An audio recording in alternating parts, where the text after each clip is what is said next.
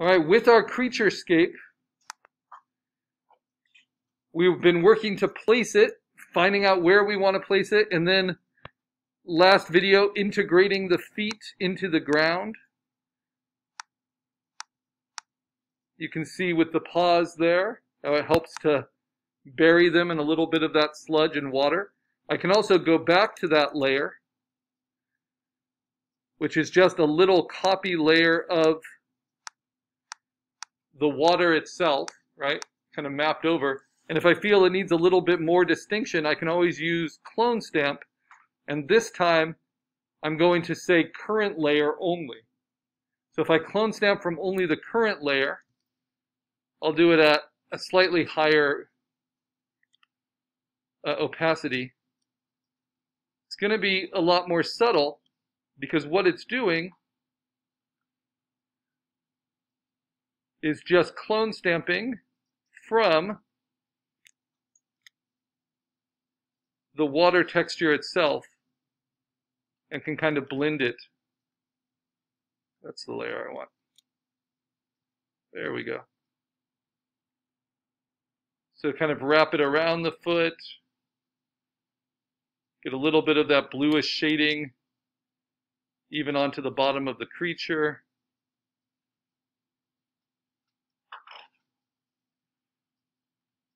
It's all going to help.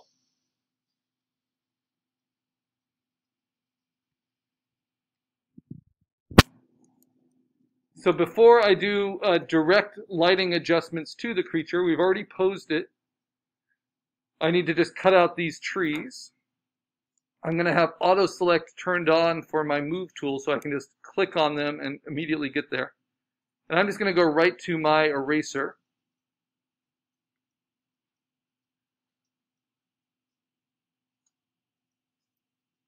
Oh, I have it locked, that's why. I'm going to unlock it. So I can just cleanly erase the edge of this foreground tree. I'm using my pressure sensitive tablet. And because trees are organic, it's pretty easy to just create an edge for it. And it's only where it overlaps the creature that I need to clean it up.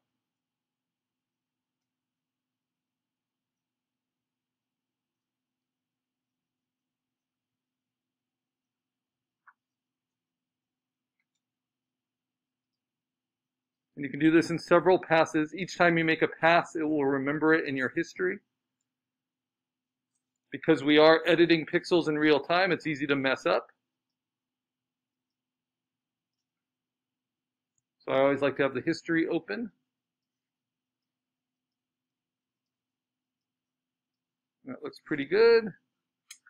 Now this tree, what's going on with this? Let's see.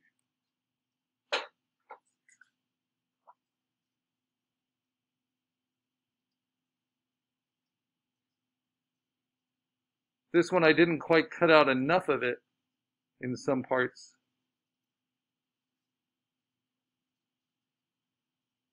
So what I might need to do is go back to my background or my middle ground and do some of that clone stamping right on it. There we go. That's the layer it's going to show up on. So now I use clone stamp. I keep it on the current layer. I'm going to keep it at a higher opacity here. And I'm just going to bite away from this edge of the tree and change it. Actually, I can copy that edge of the tree and move it down like so. You don't want it to be too copy pasty. You kind of work in different places. Then we can build it up.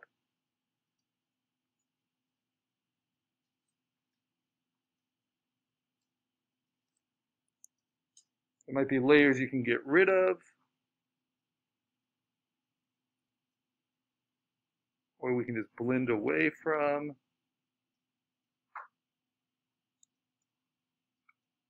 Taking out lower opacities. That kind of helps with the lighting.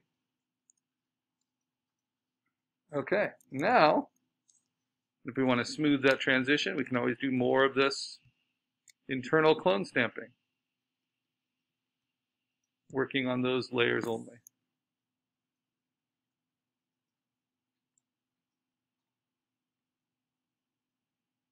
And we can always erase away as well with our soft edged eraser at a low opacity.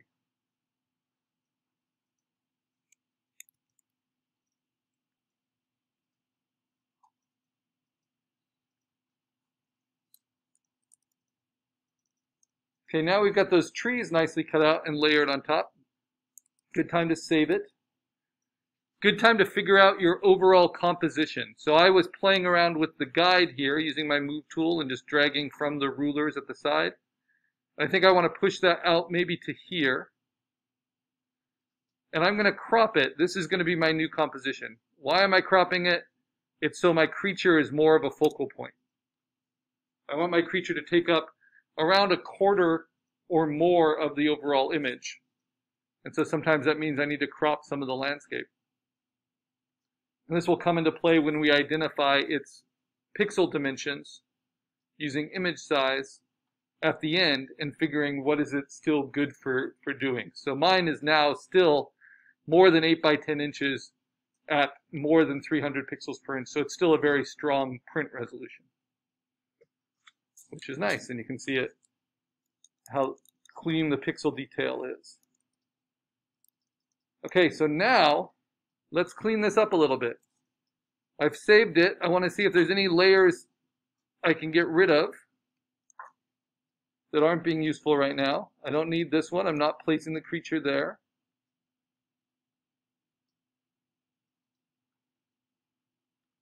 I am placing the creature there. I've got my pose, so I can even get rid of my smart object. And now every other layer is being used. First and foremost, they are putting the trees in front of my creature and then putting the paw, sinking it into the ground. This is after puppet warping and all of that.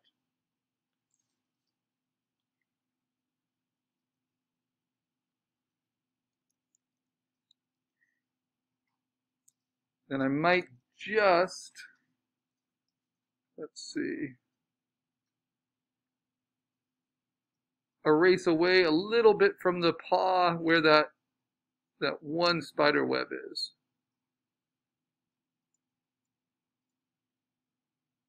Just like that, really faint, really simple. Okay, so anything you can do to kind of get it to integrate. Now, we know where our creature is. We're going to start affecting it directly with dodge and burn.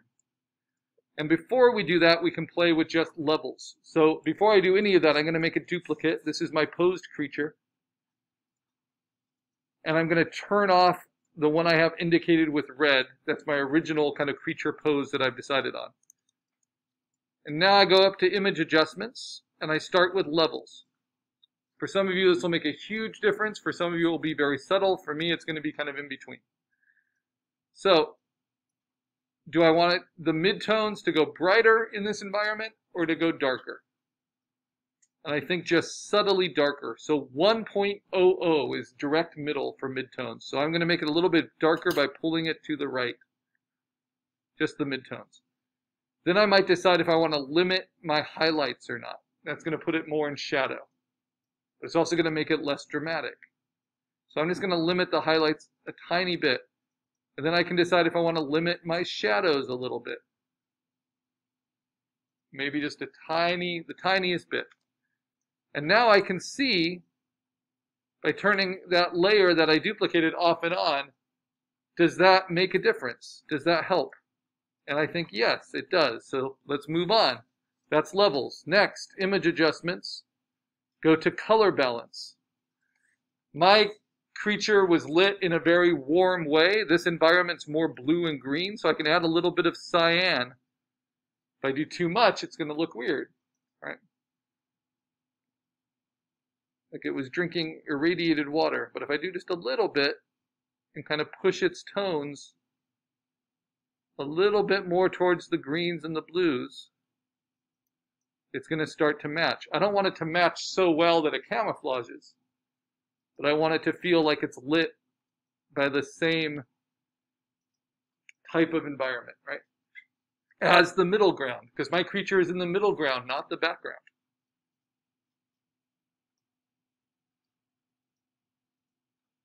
And then I tend to overdo this, so I'm going to downplay it a little bit.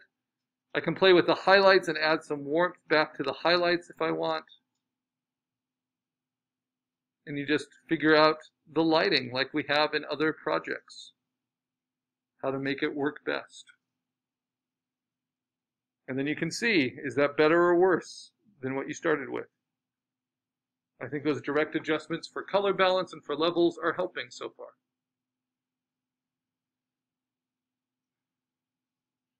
And then the last one, image adjustments, hue saturation.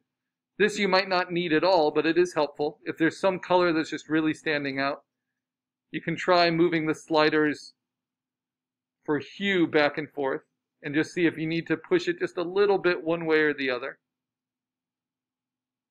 off of zero. I think I'm going to push mine just a little bit redder. And then in terms of the saturation, whether you might want to deaden your saturation a little bit to fit the environment. If you do it too much, you just get to grayscale. You don't want to lose color content. So I'm just going to deaden it a tiny bit. And then again, we see based on the original. So you can see how just those direct adjustments can help with the coloring and the lighting. Now I'm going to duplicate that, turn off the layers behind, and now I'm going to use tool adjustments. So dodge, burn, and sponge. First, I'm going to put in highlights. So using dodge, I'm going to use a large soft brush, but an exposure of less than 30. And I'm going to look at how this foreground is lit, how lighting is kind of hitting the top edges of things. And I'm going to directly do that to my character. So this is what's called destructive editing. It means I'm changing the pixels directly as I work on them. And that's why I did it as a duplicate. So you can see what that dodge tool does. It starts painting the back of my creature with light, helping it match the lighting condition of the environment, which is one of your requirements for this proving ground. It's easy to overdo it, which is why I always put it on a separate layer. His face is catching plenty of light, so I didn't dodge a lot of his face. Okay. Next, I will use burn just on the creature. And I'm going to go to the midtones and the same kind of thing. A large soft brush, 0% hardness at lower than 30. I'm going to do something closer to 20.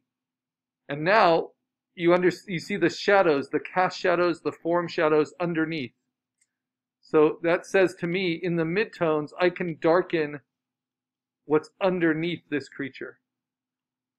Only on the creature, though. Remember, this isn't the environment yet. We're going to get to there.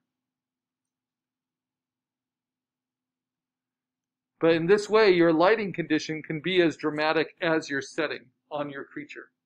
Instead of going for just the kind of flat, even lighting that we usually have with concept work. So does that help? That's the direct dodging and burning. Now, if you overdid it, and I maybe overdid my shadows a little bit, I can just take the opacity down on that, and it will show the creature copy I have underneath, and I can decide how much of it is helpful. I can even try different blending modes and say, okay, I only want the things that lighten it, or I only want the things that darken it. And you can see what all these different options do. A lot of them are going to compound the effects and are going to be too strong. But pin light is often a good one. But in this case, doesn't do much. Ooh, luminosity is nice. And that's dealing just with lighting.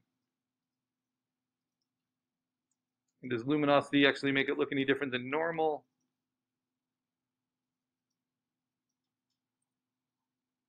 No. so if I like how it looks normal with just dodging and burning, then I'm good. but I can t- I've taken its opacity